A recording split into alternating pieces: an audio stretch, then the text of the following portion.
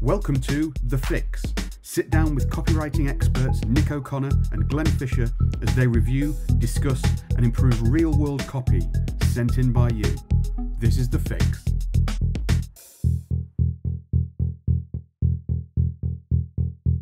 I mean, there's no context that somehow it looks insane. What? Go for it. Go Okay. for it.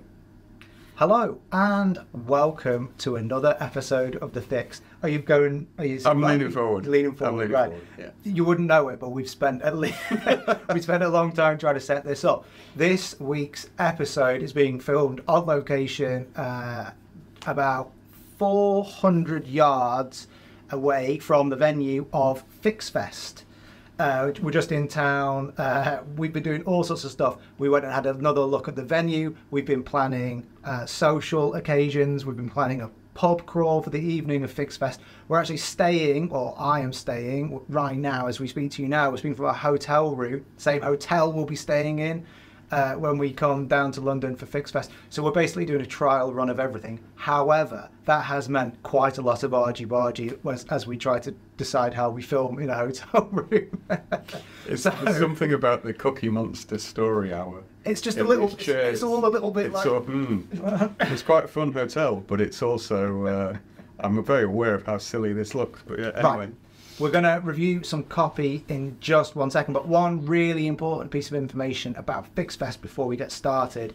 Uh, one of the things that we're getting sorted out while we're here is what I'm going to loosely call the swag. Uh, various things we're going to be giving away as part of FixFest, various free little goodies and things like that. For us to make all of that work, we need to know final numbers. This is really important. So, if you haven't got your ticket to FixFest yet, but you want to come, you need to let us know by absolute latest 31st of August. So, that's uh, next Thursday. After that, uh, it's going to be problematic because we will have ordered all the swag, we will have sorted everything out. You might not get your cucumber sandwich or whatever it is we're going to serve for lunch. We really need to know final number so that we can get everything locked in. So if you're on the fence, if you've been meaning to get your ticket but haven't got it sorted yet, whatever that might, whatever the reason might be, you need to let us know by 31st of August. So you've got about six days, give or take, depending on when you're watching this episode. Right. Where do people go, Nick, if they want a ticket? Um, I believe you're about to tell them. Ah, it's thefixfest.com. If they go to the Fixfest, if they, you, go to thefixfest.com, you'll be able to purchase a ticket. If you have any trouble, drop us a line, feedback at thefixcopywriting.com. It's a lot of admin. Uh, a lot of admin. We, we've added, we, well, I'm trying to make a case for more admin on the day. Nick is holding me back and preventing me from doing that. I want it to be fun. I, I will make sure there's plenty of like house price discussions, like council tax, just like filling in forms, as much as that as we can fit in. Gerrymandering, it whatever that might be. Whatever gerrymandering is. Isn't that a political thing? Yeah, come on. I'll tell you what Yeah. it is afterwards. Right, enough of that. Grab your tickets to FixFest if you want to come. Let us know by 31st of August. Right, let's move on and look at a piece of copy. Glenn, will you read it aloud and we'll bring it up on I will screen read it people to watch? aloud, uh, and I will now go back and put it on screen as well. Um, it's a lift note, uh, and uh, it is for crypto. Um, so we can maybe get into that in a minute, but I'll just read the uh, copy out so you know where we're at. Uh, subject line is These special coins could be the next big project, or rare coins pay you $6,500 monthly just for owning them. Dear reader, prepare for a groundbreaking event that will rock the crypto market to its core. This is not your average opportunity. It's a game changer you can't afford to miss. In 2017, early investors turned $1,000 to $3,000 profit on Binance. That's 300,000. 300,000. Yeah. It's even better than I imagined. Yeah. Uh, now get ready for something even bigger. According to Reuters, quote, this event could shake up prices. There is a lot at stake, end quote. Billionaires like Elon Musk, Winklevoss twins, in brackets pioneers of Bitcoin, and Mark Cuban are silently preparing for it. Mark Cuban has invested at least $7 million into crypto because of this event. So, what is this event and how can you profit from it? That is what Teeka Tiwari answers in this shocking video, where he reveals that investors will enter a crypto buying frenzy very soon. This time, it's not about Bitcoin, Ethereum, or any other popular coin. It's a little known subsector of the crypto market, and that's where the next big project is waiting to explode. This buying frenzy won't revolve around ordinary coins. We're talking about special coins that pay you every month just for owning them. Yes, you heard that right. It's like money falling from the sky into your pockets. And the best part? These coins are capable of turning $1,000 into an entire nest egg. For instance, one of these coins paid out $5,000 every month to investors, and it returned $40,000 as capital gains within two years with only a $1,000 stake and another one paid out $9,000 every month and returned over $55,000. And I'm going to stop there because we've gone on the numbers game. We have. And we've gone too deep, and there's loads before that. Um, Nicholas Witchell, royal correspondent, what did you think? Oh, no. He's actually. Um, yeah, just the first point I would make. Uh, I think we should take, take the copy off screen now, and we'll just we'll just talk about this because there's there's a lot we can discuss there. Just a, this is a follow up point to a previous episode uh, of the fix. Very recent. It was either the one we did with Joshua Lee Henry or Dave Bowman. I can't quite remember, but we talked about overuse of numbers, um, which just sounds slight like a slightly weird point to make if you haven't actually heard those episodes. But the two points, just to quickly recap them, is one, nobody has an emotional connection to a number, so you know you, you don't actually strengthen your copy by adding more and more and more numbers in, no matter how big they are. And you've got to be really selective. And the second thing is, you know, I'm going to be mean to you now, but maybe you heard it in Glenn's reading of that copy. You know, Glenn is, as you know, maybe he's a little bit on the young side for financial marketing prospect. Generally, they're a little bit older. But, you know, he had a slightly doddery old man quality to him as he struggled through those numbers. And I, I, I'm actually- not being mean to you there. As you try and work through all I'm actually numbers- 65. yeah, yeah, yeah. He's on his third midlife crisis. Um, you you could see the stodginess of the numbers as he tried to sort of chew his way through them. And okay, not everybody reads email copy aloud, you know, unless they're reading it to their spouse or something, which would be a slightly odd uh, environment to find stuff in. Just mentally, you sort of have to chew through those numbers, and you lose your you lose your way because it, you, you're not really anchored to anything, and they're all so you, big. I thought you were going to be mean to me because um, I thought you were actually going to be mean to me, which would have been valid because I used to do um, headline complexes with quite a lot of numbers in. That was my one of my uh, things that I went through in the kind of bizoppy gambling uh, headline um, world. You, it is a very profit, and this is what people might be thinking. It's worth probably labouring the point slightly because it's slightly counterintuitive, especially in the financial world where um, you might be thinking, well, Nick and Glenn, it's profits. That's a good thing. People making profits, showing people money. making money. It sounds like a good thing. And I used to do headlines where I'd have three profit numbers of 562, a 642, and a 361 kind of thing. That was even then, it was a mouthful to say.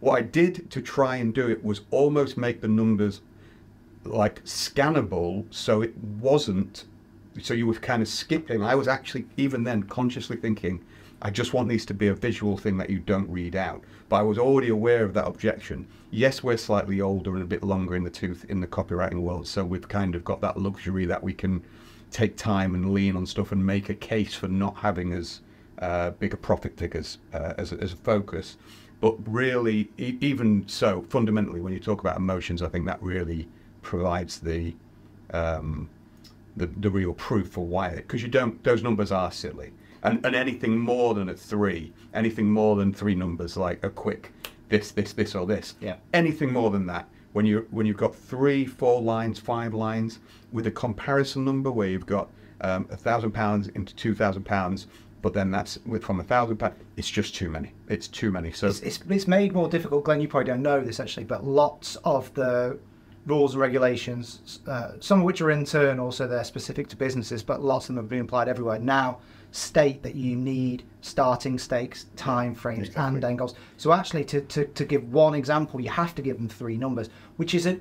Not to say don't use them, think carefully about. It means you've got one chance. Yeah. It means really, I, I, I, just as I kind of stopped writing financial copy as, as my main thing, it was just coming in that that was the case. And it was just, it, I can remember uh, our compliance officer at the time going, you've got one hit. Like you can have one big, bold money claim and that's it. So you have to save that up and know to hit that. You can't afford to do that, especially in an email piece. But that all aside, Let- it just doesn't read well. No, and it's, Doesn't and it's yeah. just remember that your your audience may well be. They may not be that au fait with large numbers. You know, they're interested in money. That doesn't necessarily mean they're interested in numbers. So just putting all that stuff in there is just chewy. It's going to have to work through it. We don't really want that. Okay, that's it. That's, it. that's where we stopped the copy because Glenn got tired of saying the numbers out. Let's just pull back a little bit and think Yep. about the copy as a whole. Um, there was lots to like about that Yeah, yeah. There was I would say there was actually two lift notes going on there. There was one that was a hard by hard I mean based in fact, based in you know, there's this event, there are these people that are preparing for it. Uh, whatever they were, I can't remember who they were now, Mark Cuban, Winklevoss twins, and whoever the third one was. Uh, they were investing real money, uh, Elon Musk. So there was a kind of hard, factual idea there about something's happening and, and, and powerful people are preparing for it, and you can prepare too. That was one side of it. The other side, there was quite a lot of copy speak that I would just cross out. So I, the line that I remember was uh, like money falling out of the sky into your pockets. And there was a few other examples.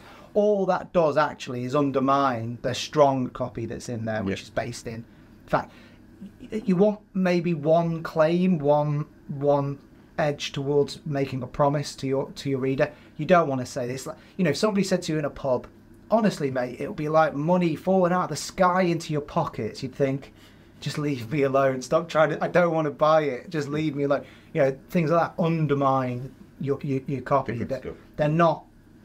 They're just not the way people would speak, and people can smell that a mile off.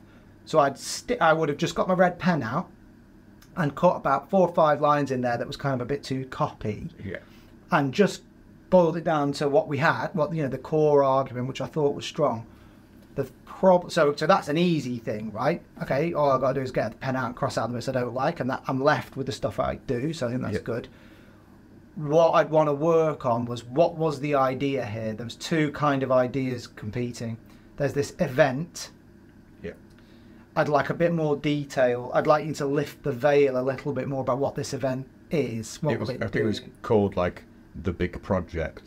Well, no, that was the play. That's that was how play, you capture, right, okay. and and and that was could could make slightly, you yeah. money uh, from home, whatever. Those two things compete with each other because it's Yeah. like, what is it? Is it this event that's going to make certain cryptos go up, or is it this specific crypto that I should own? I know that they're connected, but you need to be clear in your own mind what is. It's it's a power of one. Yeah. What is my big idea here? Yeah. I think they're both quite strong ideas.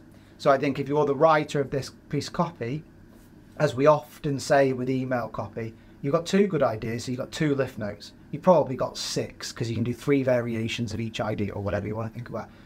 Blending those two things together doesn't make them stronger, it makes them weaker. Yeah.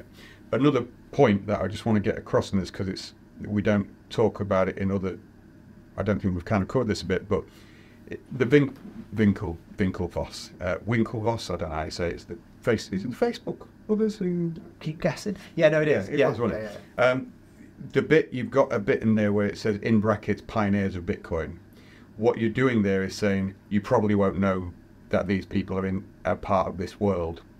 That to me is a big no-no. That is a it's a it's a serious mark against you on the driving lesson analogy where I say if you get three like fouls you're out kind of thing. If you're if it's not blatantly obvious, I know that Musk is involved in bitcoins.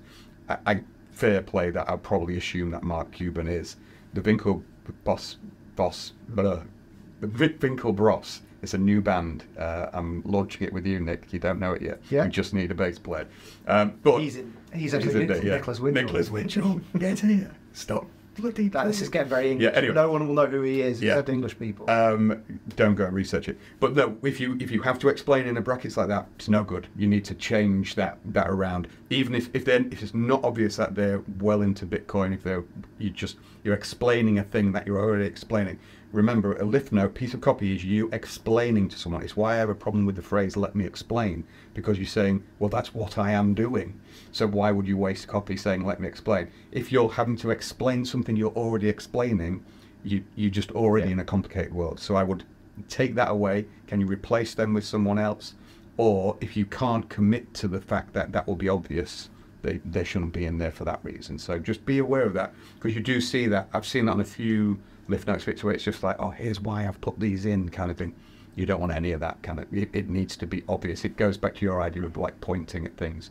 If it's not obvious that think about it. If I don't go, Yeah. oh yeah, they're massively into Bitcoin. I don't. If I don't know it, it's not worth. You can't just point. Yeah, that's that true. Thing. So I think those are. We're, we're largely talking about cleaning the copy up.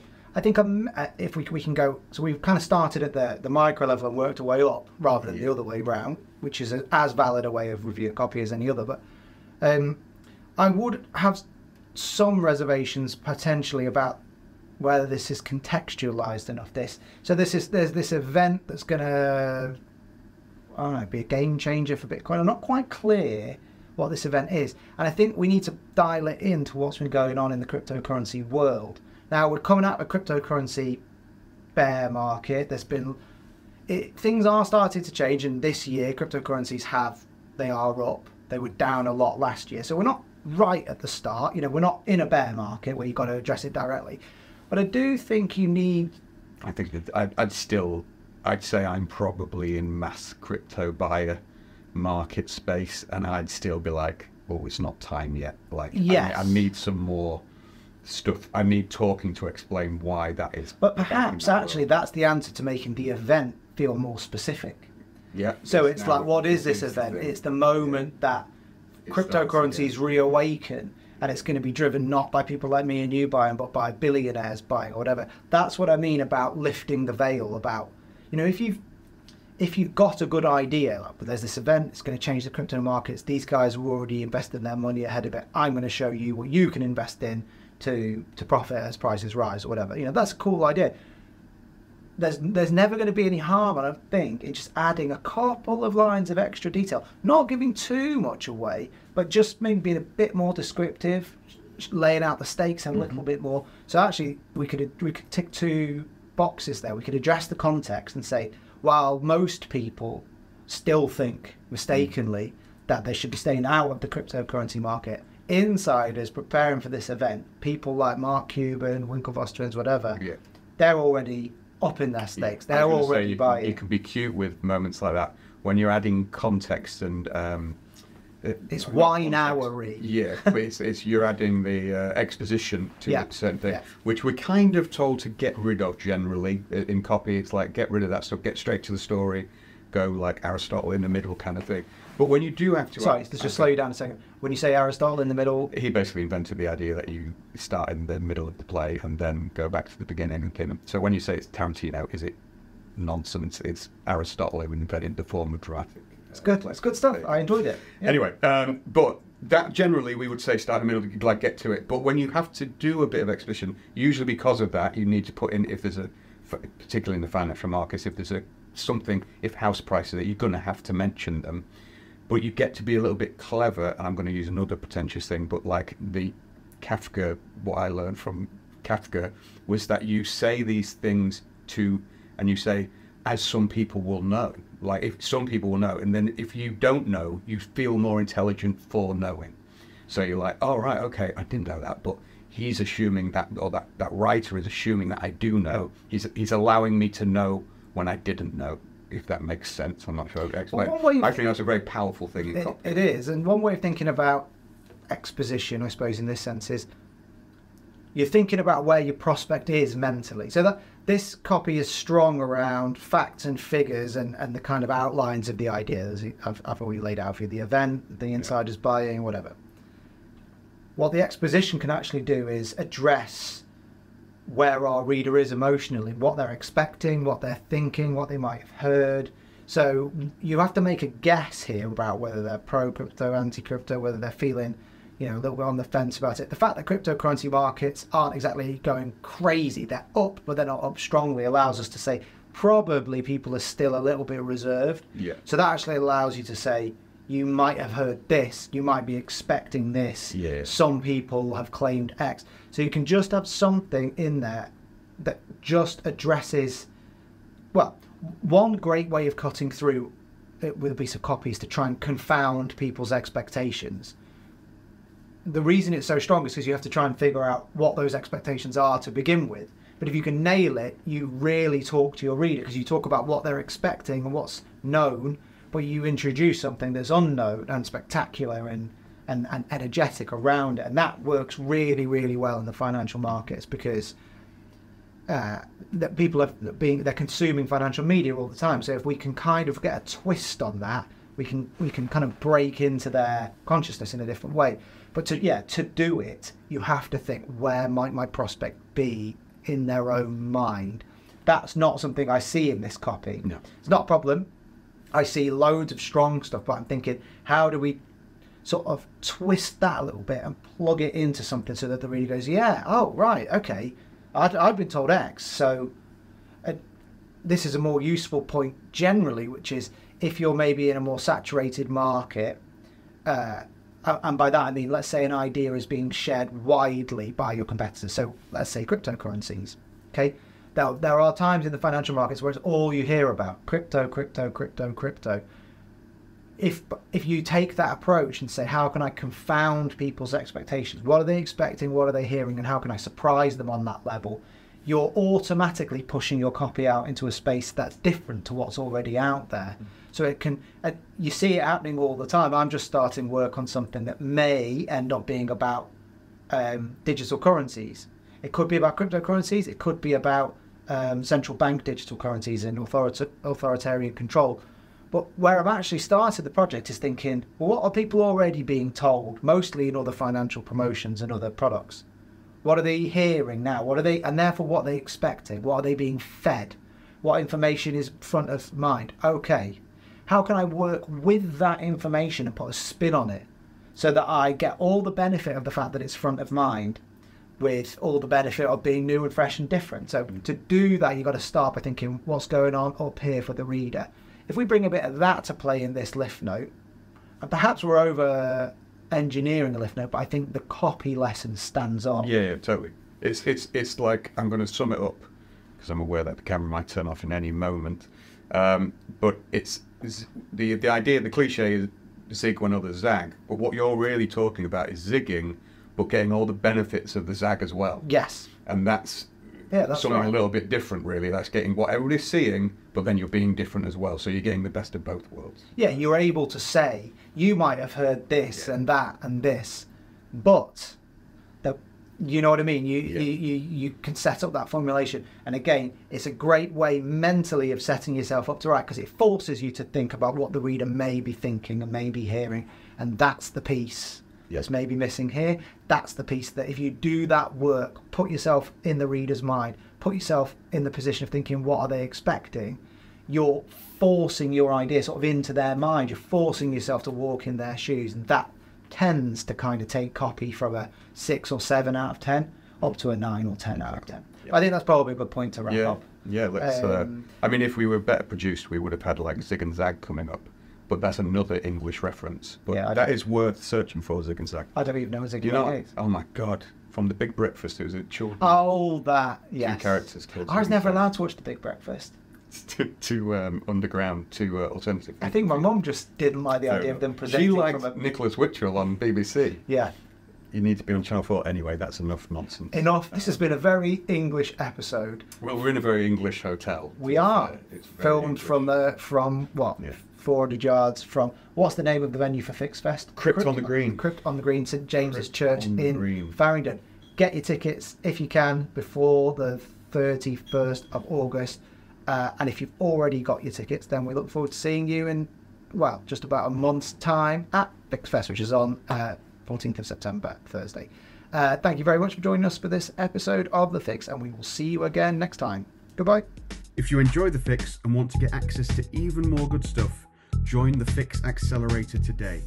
Get access to special masterclasses from Nick and me, watch expert interviews with industry legends, join live copy feedback sessions every week, and get connected to our very own private copy network.